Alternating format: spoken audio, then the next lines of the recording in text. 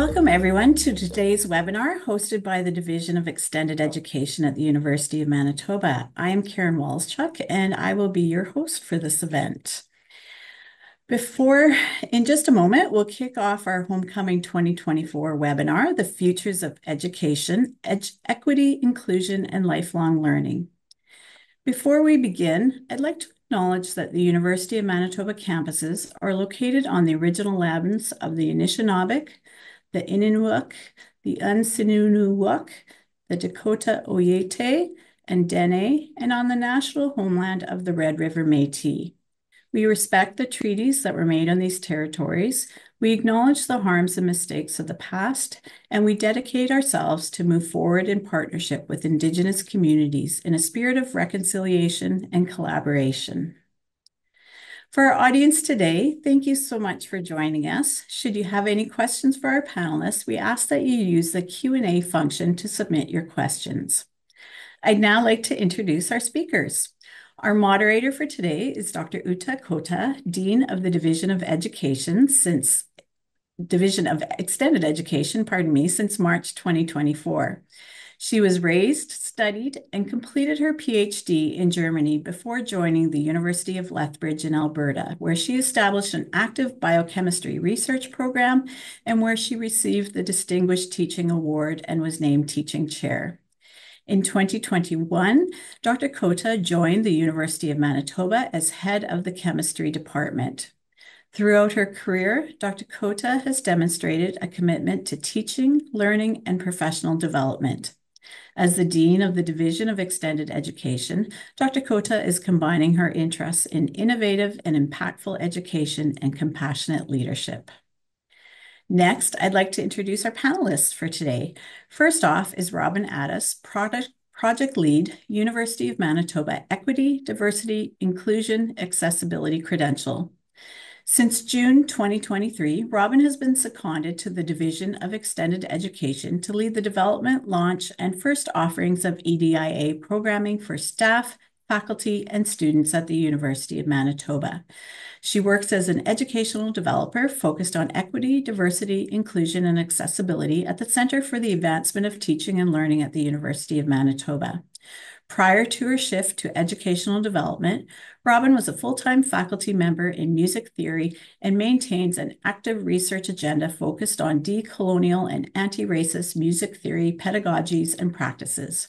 Robin holds an MA and PhD in music theory from the University of British Columbia and a Bachelor of Music degree from Queen's University.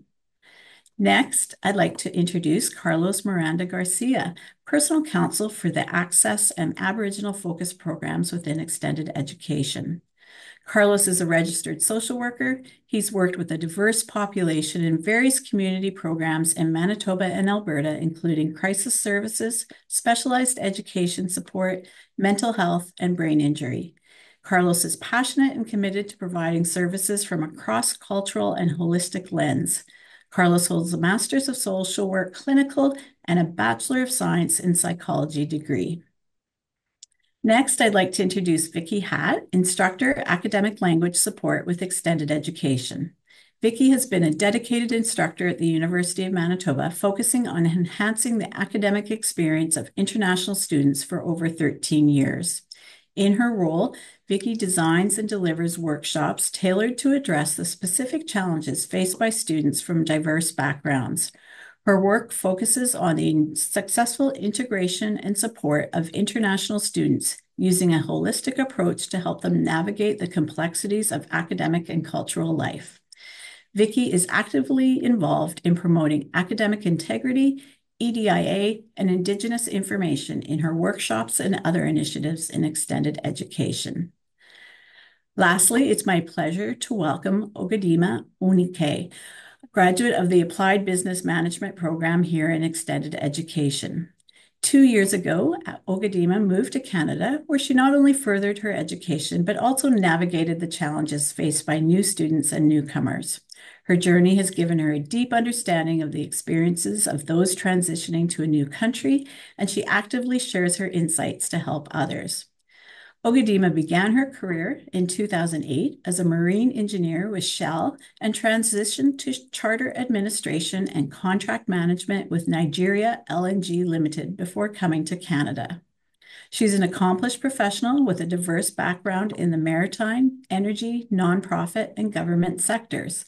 She has a passion for service and regularly volunteers her time and shares her skills to empower others, reflecting her belief in making a positive Im impact. Ogadima holds a national diploma from the Marine, pardon me, the Maritime Academy of Nigeria, a higher national diploma in marine engineering from Southampton Solent University, UK, an MBA in shipping and logistics from Middlesex University, UK, and a certificate in management and administration from the University of Manitoba. We are so pleased to have you all here today to join us, and I'd like to now pass it over to Dr. Kothe to start today's conversation. Thank you, Karen, for the very kind introduction. And welcome, everybody. We are so happy that you're joining us today for a topic that is close to our heart and, as we think, important, literally, for the future of our planet. So, today's webinar is about the futures of education. And the first question I always get is really many futures? And yes, many futures. Because the concept of future of education was created by UNESCO, and it really refers to the concept of evolution of education into many different types of educations that are needed.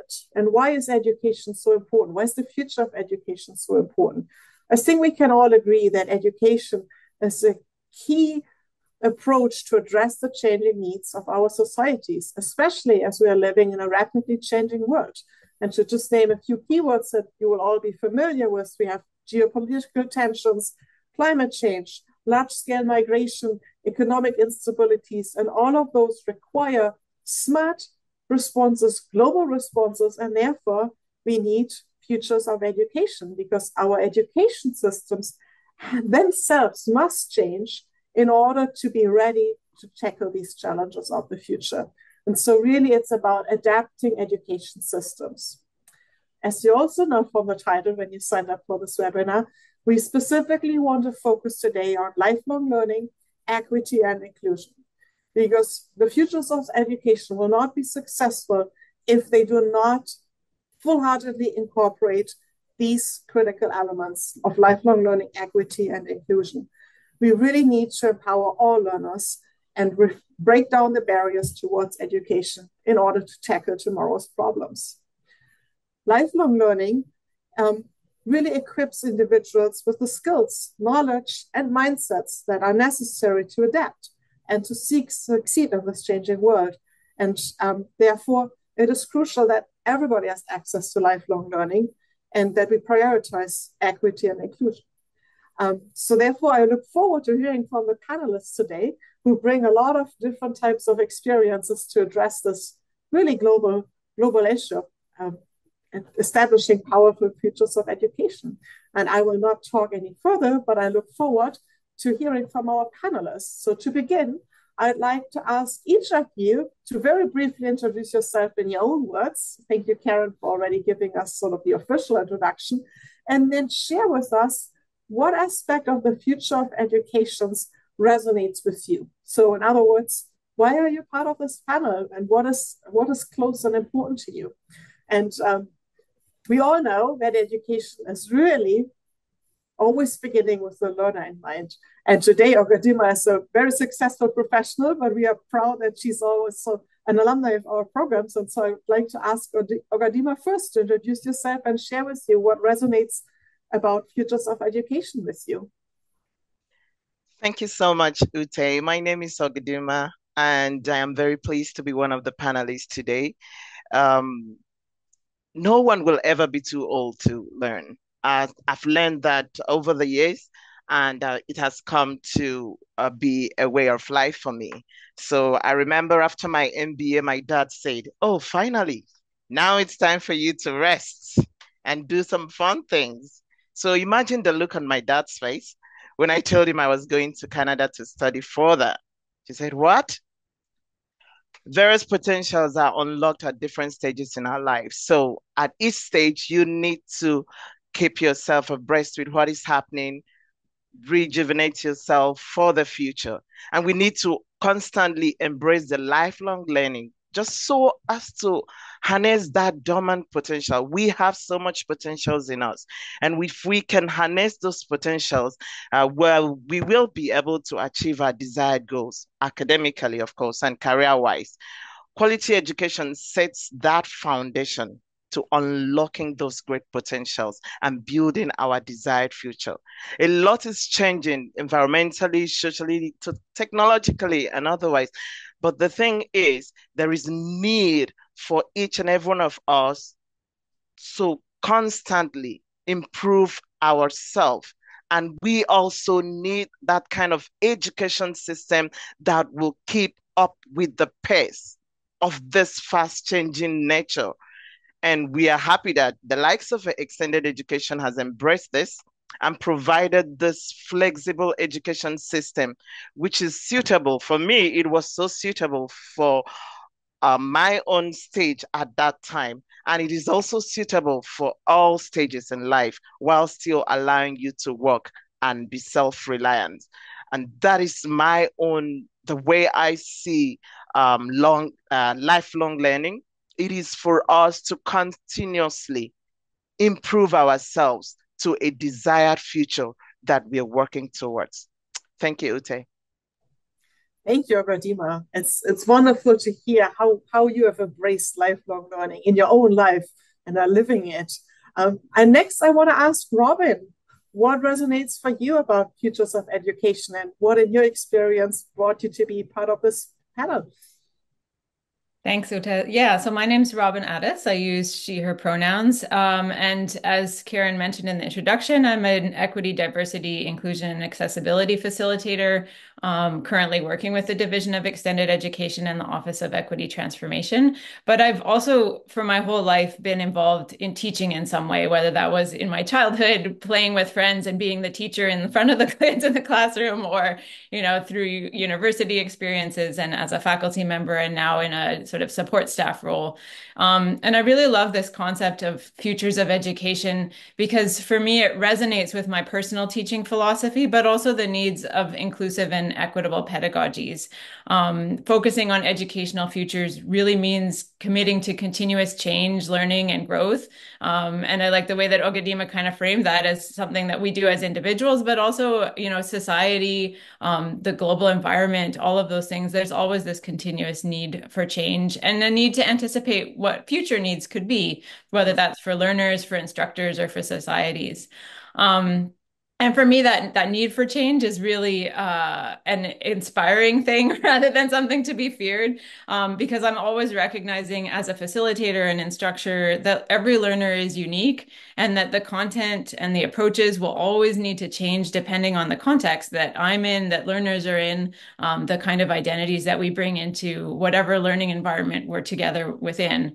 Um, and i find for me that uh, that's especially important in equity and inclusion specifically because we know that societies, cultures, and individuals are always evolving, and because EDIA is always about reflecting on where are the inequities at, in the present, what's happened in the past, and how can we work together to change things for the future. So that future-oriented aspect of educational futures really appeals to me for all of those different reasons. Thank you, Robin. And I, I really like how you frame change as positive, right? Change as a powerful way to deal with the future. So thanks for that, that approach. Um, Carlos, I have you next on my list of asking whether you can introduce yourself and share what resonates about the futures of education with you. Sure, thank you. Uh, welcome everyone to this afternoon.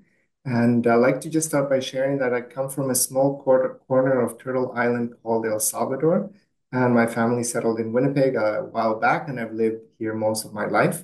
So a lot of what you're going to hear me talk about is going to be rooted in my own experiences of living in and adapting to different cultures, but also in this sense of just learning in different ways and being able to shift gears and being able to experience being in different environments. So when I think about lifelong learning, much like Ogadima said, like I think it's never too late. You're never too old I think um, I look beyond just the academic expectations and more about the commitment to that personal and professional growth that is achieved by holistic balance.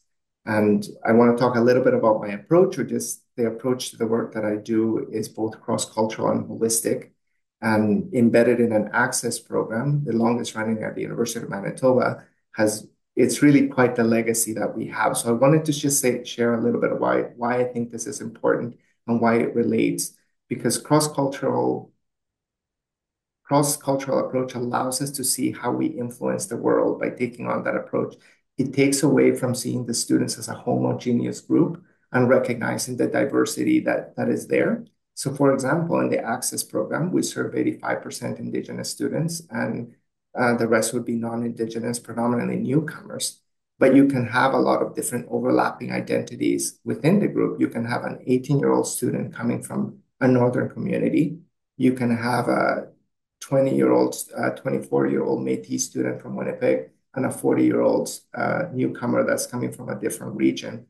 All part of the same program, all but we can look at the different stories and the parallels in how they're trying to adapt, transition, and look at their education.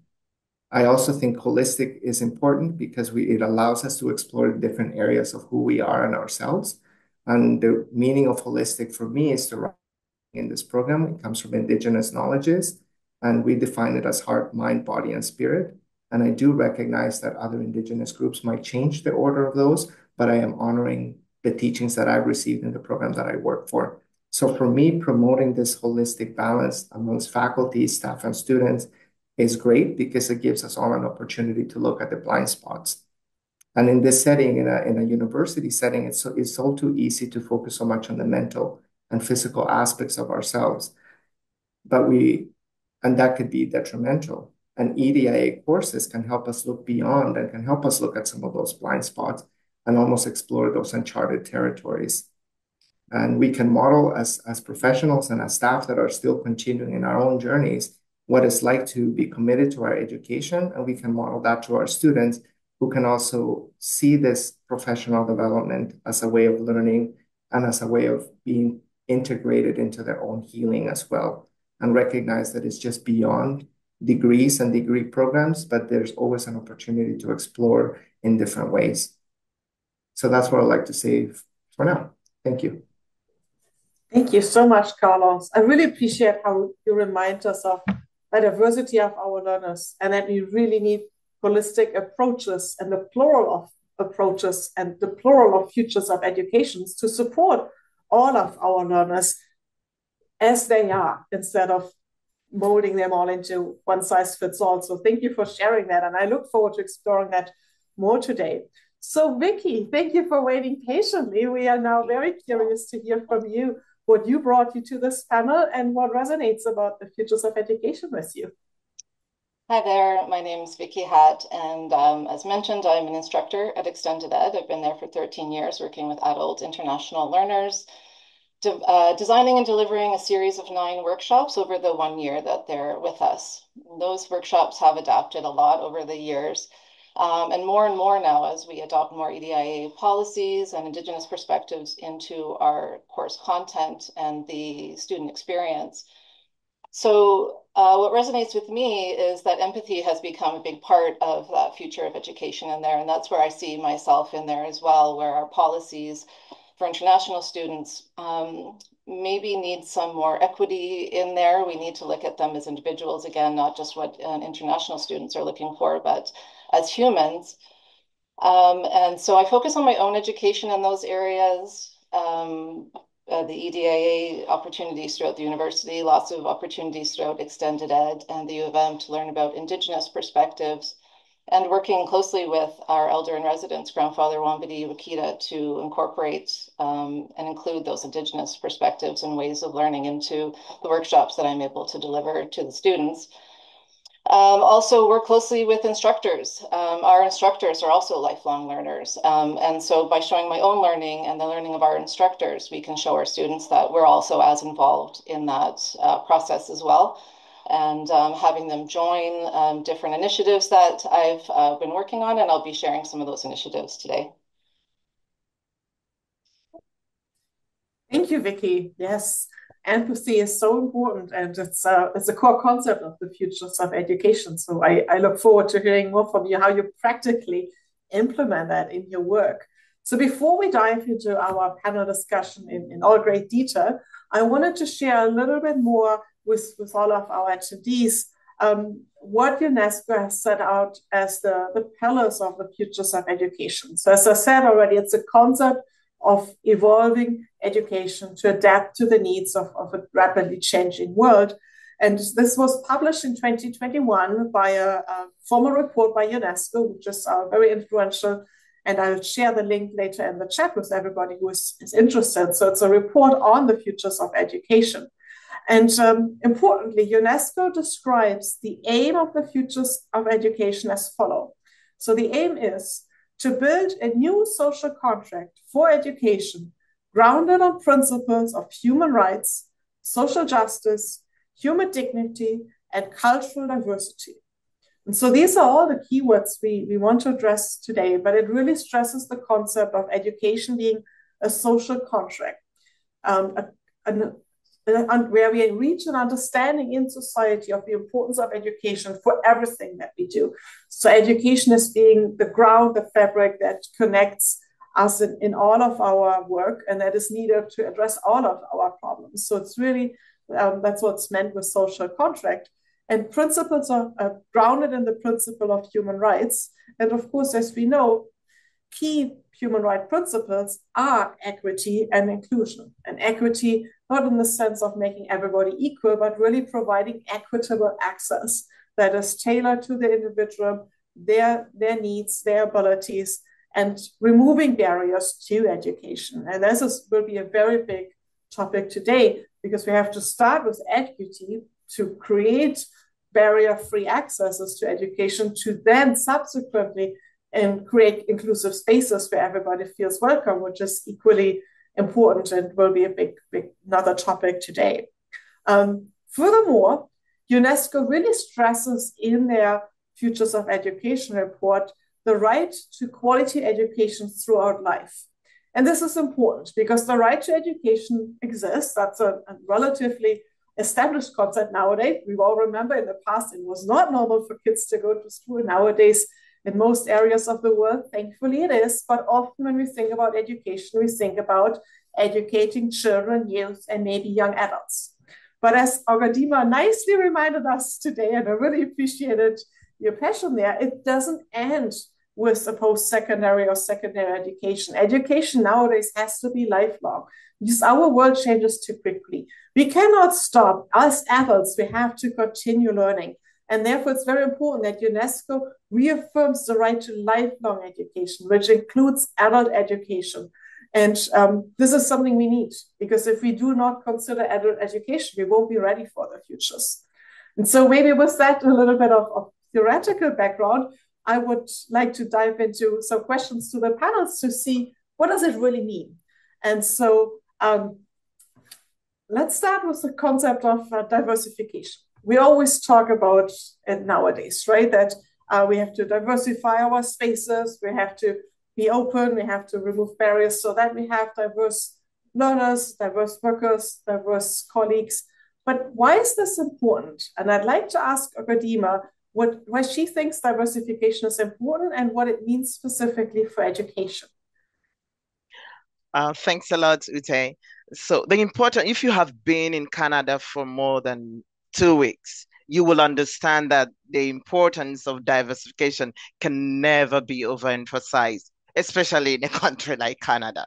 You come into the classroom and all shades of colors are in your classroom you know right that's the first thing that um, you know you see and i love how diversified we all are in appearance in culture in in our perspectives because everyone comes from all over the world and we are in this one room and you know you want to see how you can align it. And the only way you can align our thoughts and get us to understand what you're teaching is when you are able to make your education system that diversified.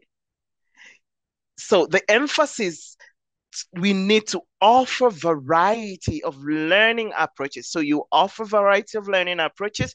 You are able to accommodate the different perspectives and give the opportunity to meet the diverse needs of each of the students. So that is the key importance. So I watch my le uh, lecturers each time they're trying to get this different and diverse understanding from the different students. And i see them trying to harmonize it so that everyone is on the same page. So you need that kind of approach. You cannot be you cannot shut down that aspect else you're not going to have a functional education system that is addressing the core needs of the students. So that is what I love most. This does not only, of course, foster inclusivity, but it addresses different learning styles. We all come with different abilities. So, and it also promotes critical thinking in the classroom. So when you're judging it, you're harmonizing all those different aspects, you're able to drive down how you can pass the learning to the to, uh, to the students. I love the way the instructors try to blend the broad understanding and different perspectives. I just enjoy that, and it prepares us not only for um, to be able to pass exams, but you are preparing us to the very complex multicultural workplace that we will experience in Canada. So, and even in the global environment. So, when you're able to adapt to that, learn effectively in the classroom with that mindset, you ease in seamlessly and effortlessly into the workplace.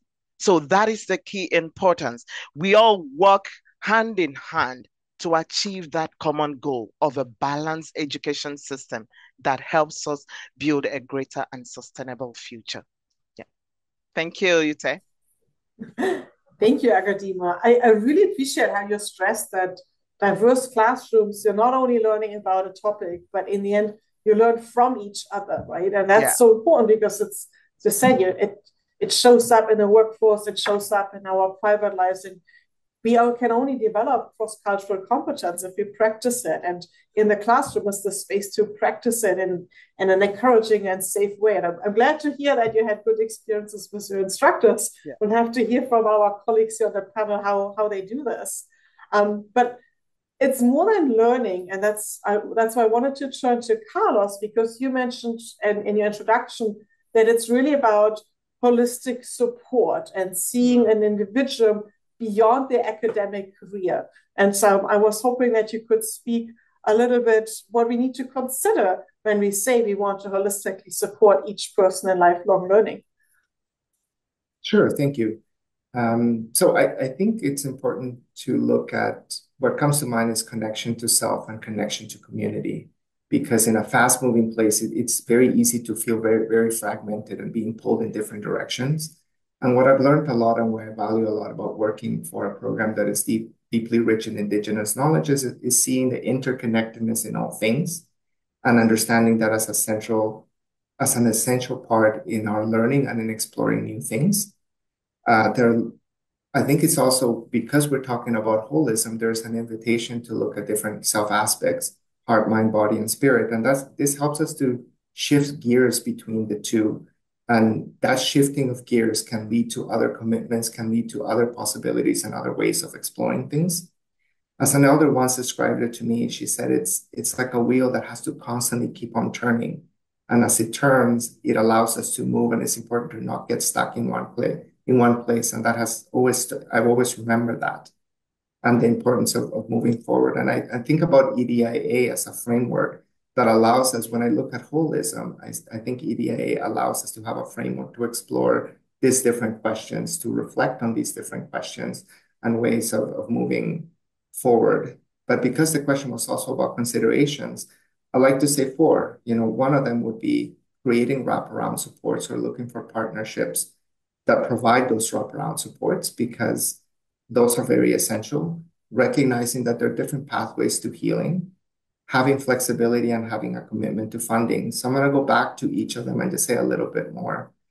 And what I mean by wraparound supports, for example, in the context of access, we have a grandfather in residence, we have academic specialists, We have a case manager. We have counselors and advising that are, we're here to maintain a long historical legacy of knowledge that has been passed down and following a particular way that's almost like scaffolding for the students as they as they come into their journey. So it doesn't matter whether you're 18 years old, whether you're 25, or whether you're 65.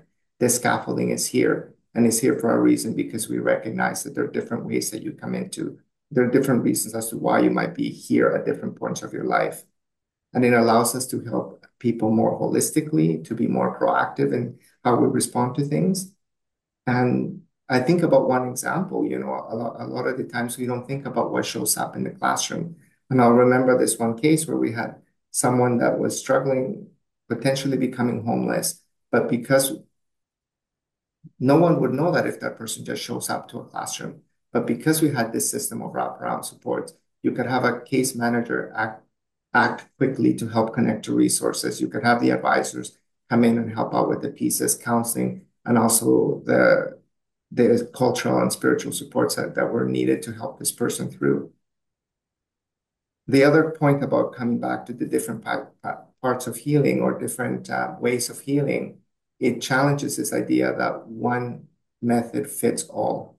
And the Mental Health Commission of Canada has been very clear on that in different reports that we need to be working in different ways, specifically when we're looking at Indigenous peoples and newcomers and workers on the ground, especially those of the BIPOC community. So by BIPOC, you know, we use the terms a lot, but it's Black, Indigenous, uh, people of color, and students themselves who have said that that. And I reflect on my experience as a counselor when they tell me if I go to something that feels limiting, it doesn't actually help with what I'm looking for. And I think the same can be said for when we're looking at other forms of teaching as well.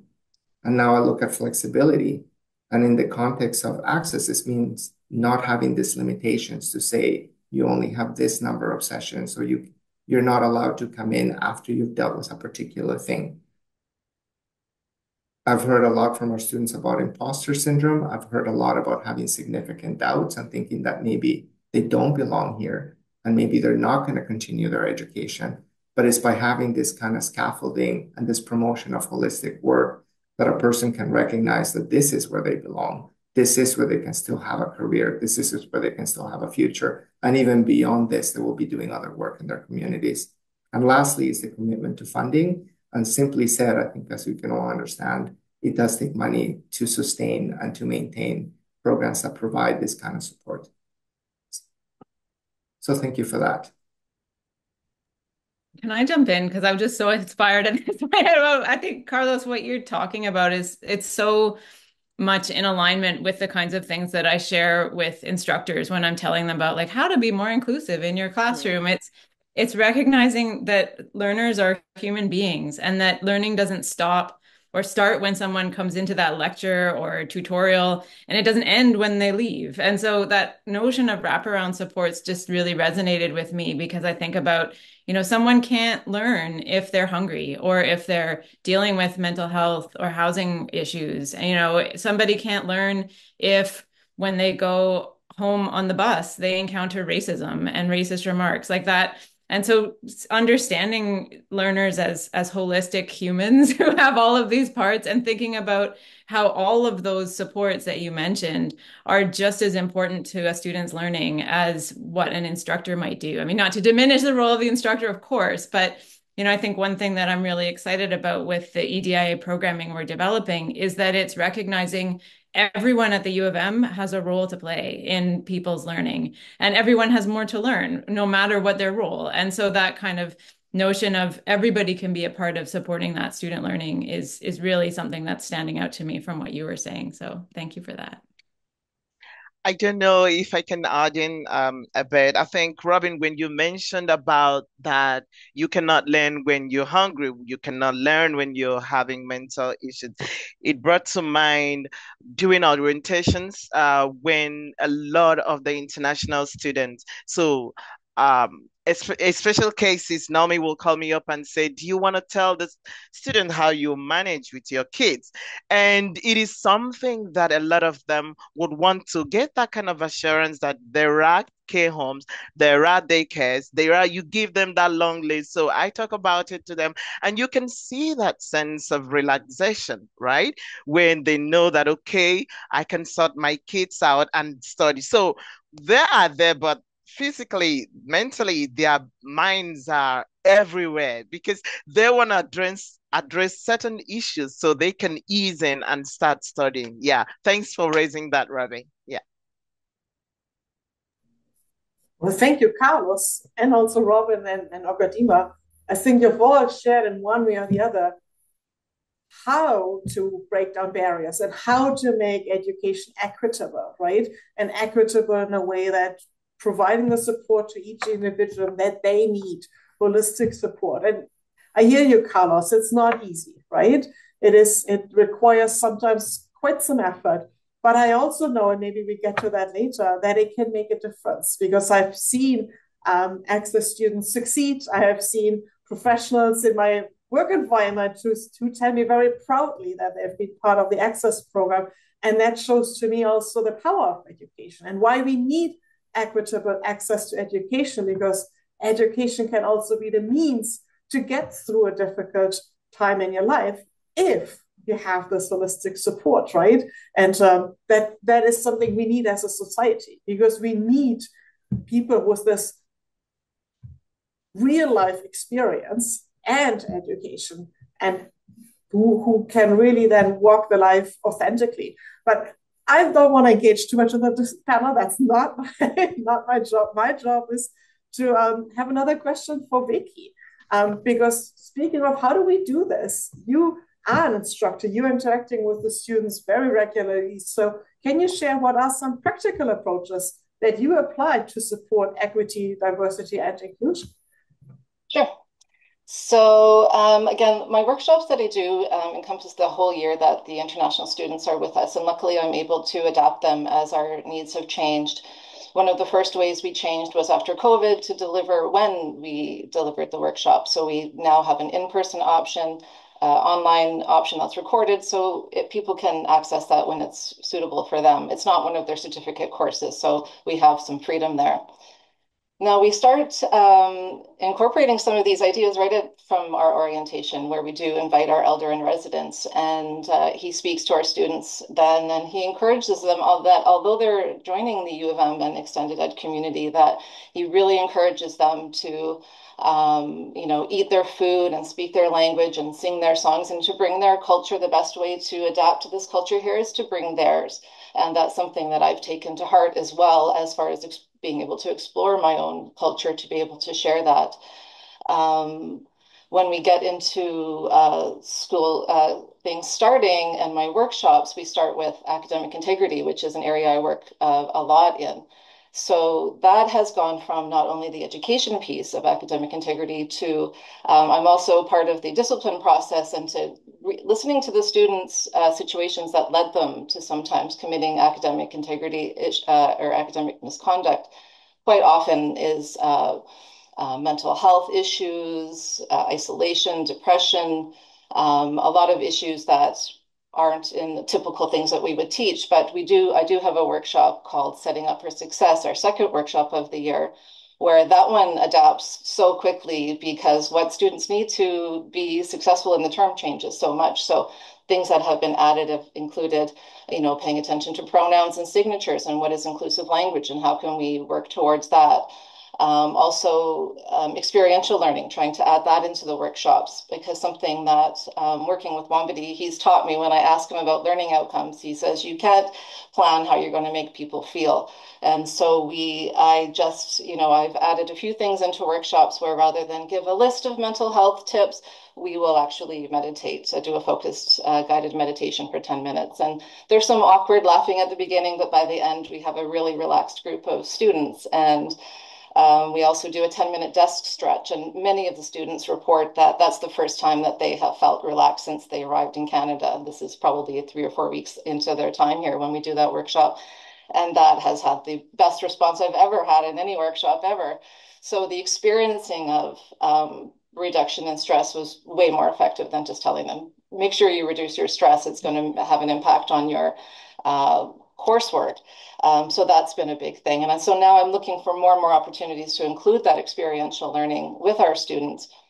Um, one way um, I've been able to apply for funding through the Extended Education Endowment Fund for several uh, initiatives. The first one being Academic Integrity Night.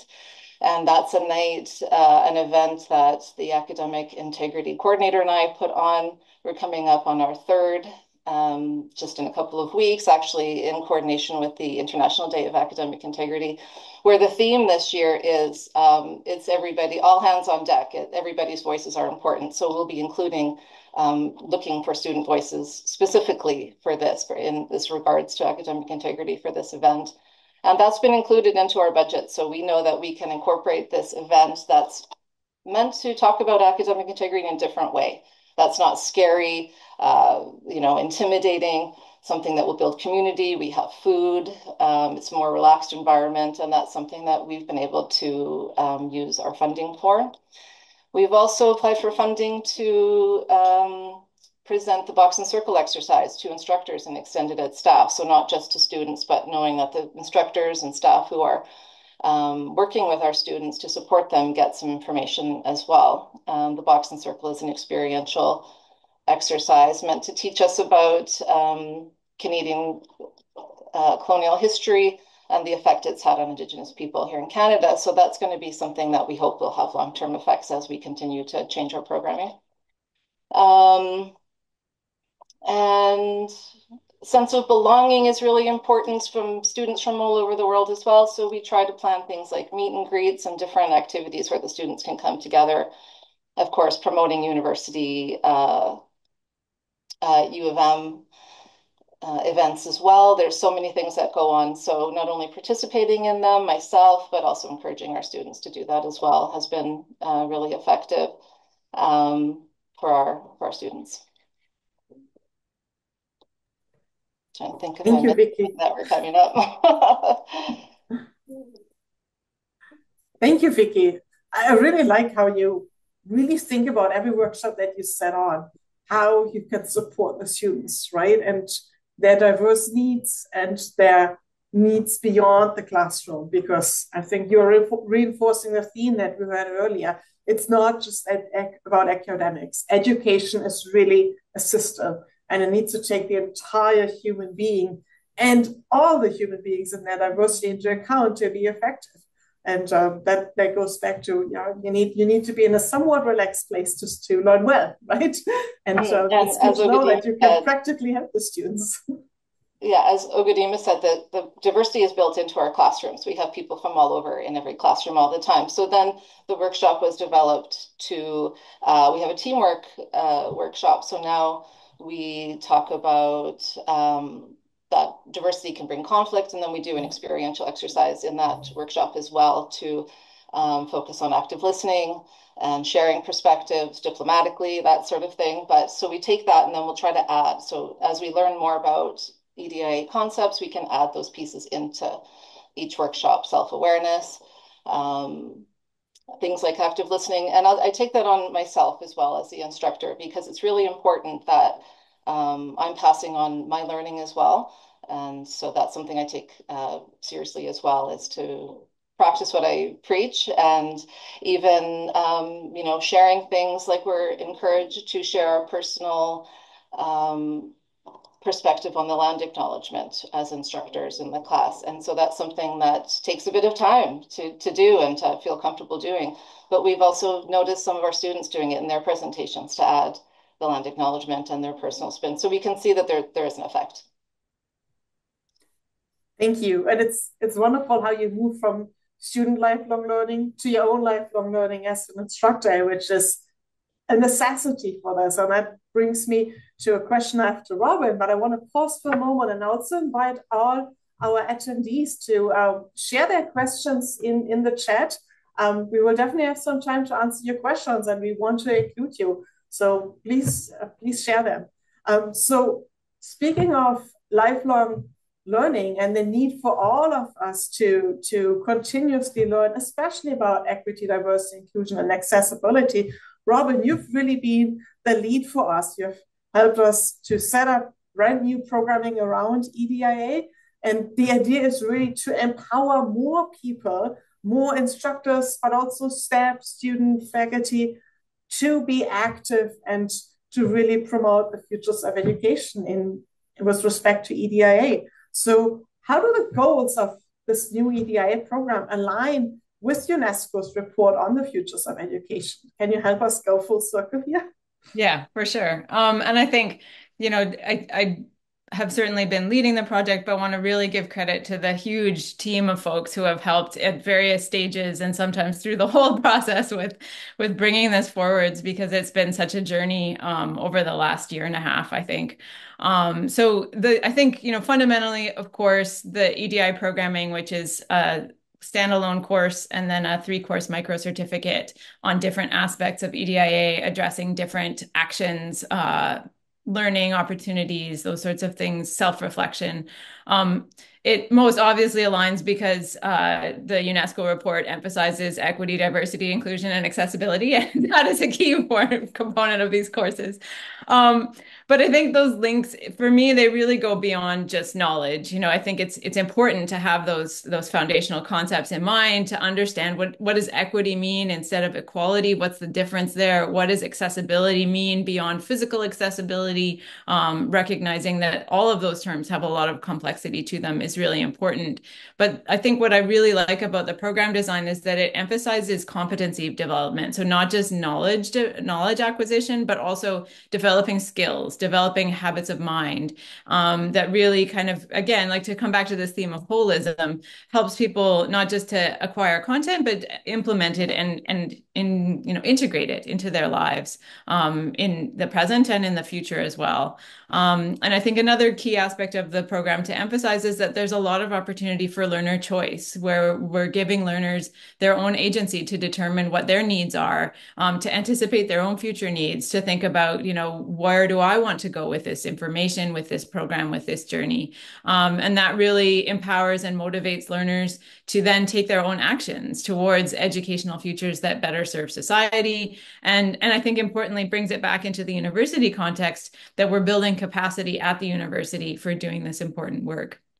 And I think you know, the U of M's commitment to funding this program uh, so that it can be offered at no cost to the learner and that the learners are anyone affiliated with the U of M is really, you know, uh, transformative, has the potential to, to transform the institution and, and is a fantastic example of a workplace and an institution that's investing in the lifelong learning of everyone involved with it, everyone in its community. And I think with that aim again of looking towards the future, of anticipating the future, of saying, well, where this is where we are, but where do we want to go? Where do we need to be? How can we change to get there? And recognizing that that change is the responsibility of everyone, whether you're, uh, you know, working for physical plant, a first year undergraduate, an extended ed student, you know, the president of the institution, the dean, you know, we're all in there, right? And and I think it's it's really important to see that as a community effort uh, towards that transformation, which really aligns with this notion in the report of, you know, societal buy-in to this idea of education as a lifelong right, and you know, and we can all make it happen. So that's that's really exciting as well.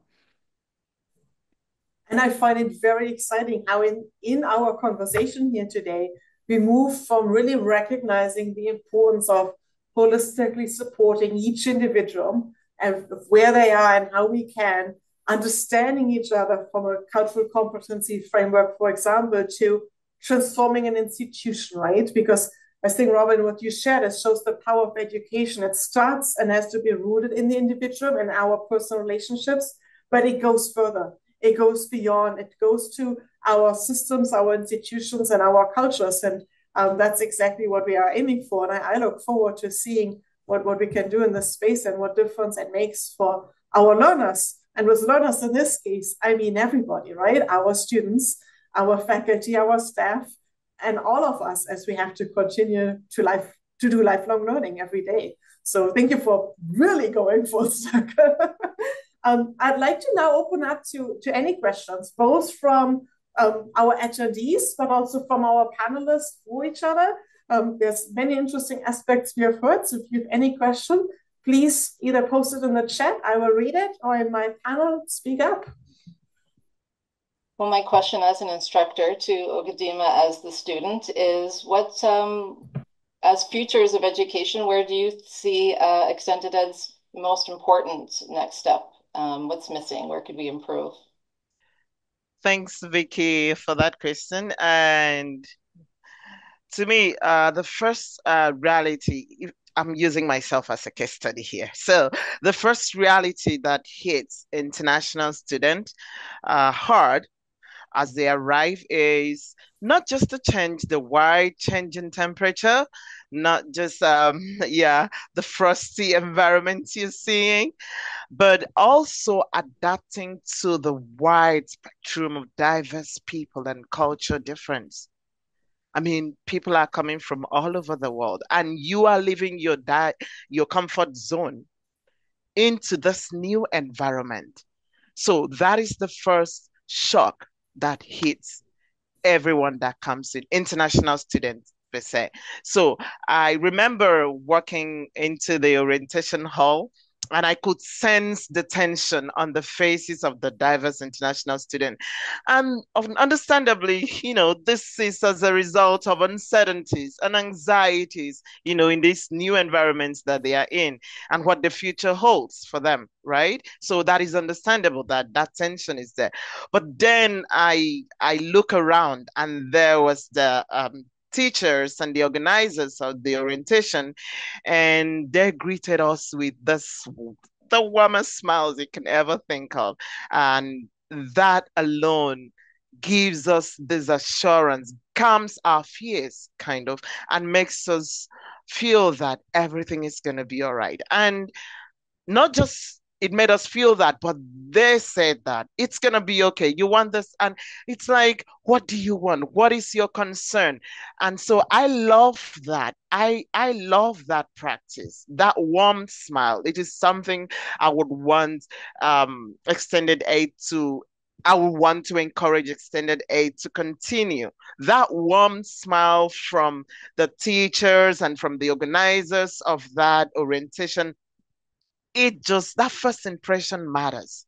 It instilled in me a positive attitude to prepare me for what is going to come. I feel I felt like yes, I'm gonna have a great experience. It gave me that assurance. I mean, so uh, it, it gave you that comfort that you're in good hands right and it calms down all our fears so since the first time I attended the orientation, I remember subsequent orientation, I wanted to be there because I wanted to give that one smile to the new ones coming in. I wanted to be the one giving them that assurance that it's going to be okay. I wanted to answer all their diverse questions. And after the orientation, I do get floods of calls and text messages from all of them. Yes, you said this. Yes, did you say this? And I was so happy to do that. And I appreciate what the teacher teachers are doing in that regards. And please, it should be encouraged. Yeah, that is my perspective as a student coming in first time.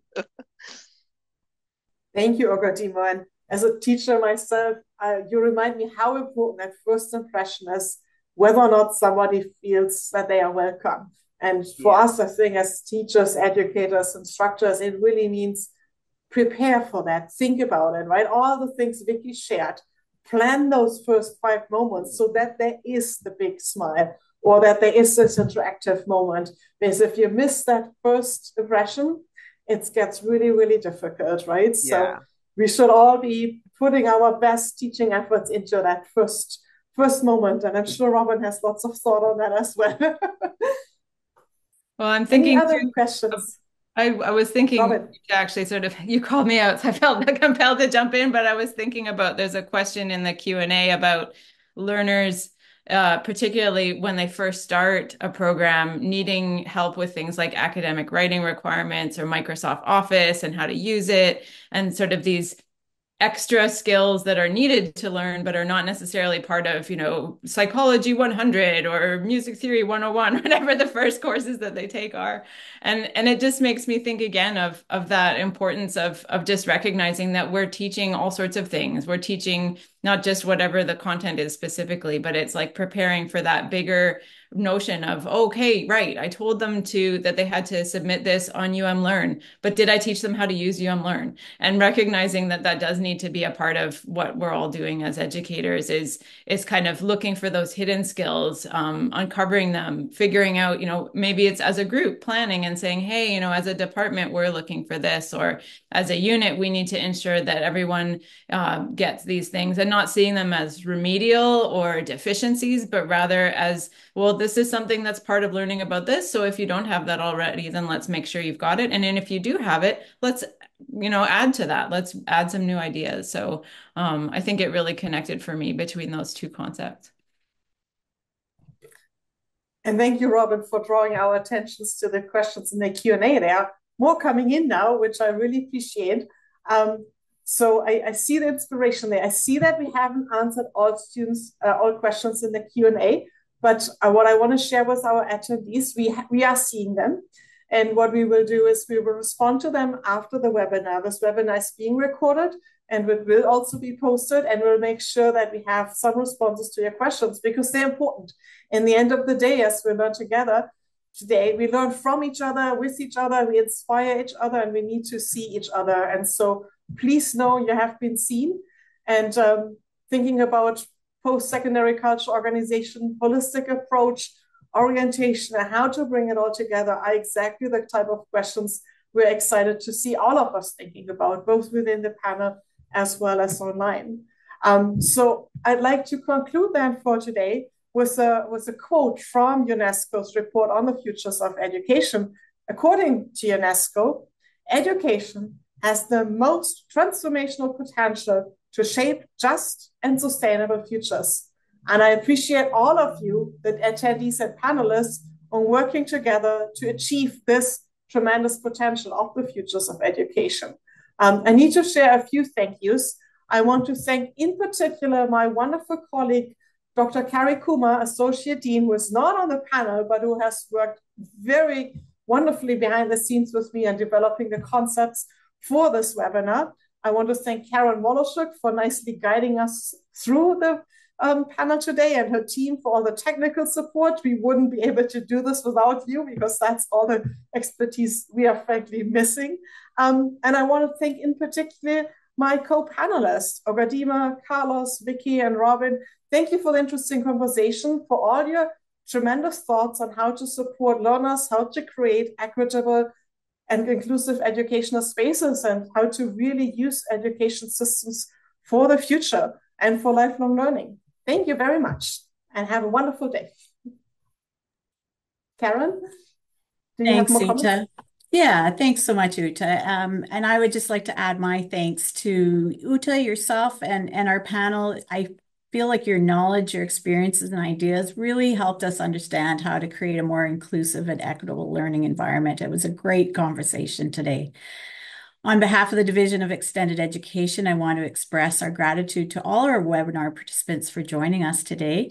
You'll receive a short survey immediately after the webinar. And if you can respond to that, we'd really appreciate it as that helps us to improve and tailor our future events. And as Ute mentioned, please check back on the Extended Education website for answers to the questions that we didn't get today. That concludes our webinar for today. Thank you very much and have a wonderful day.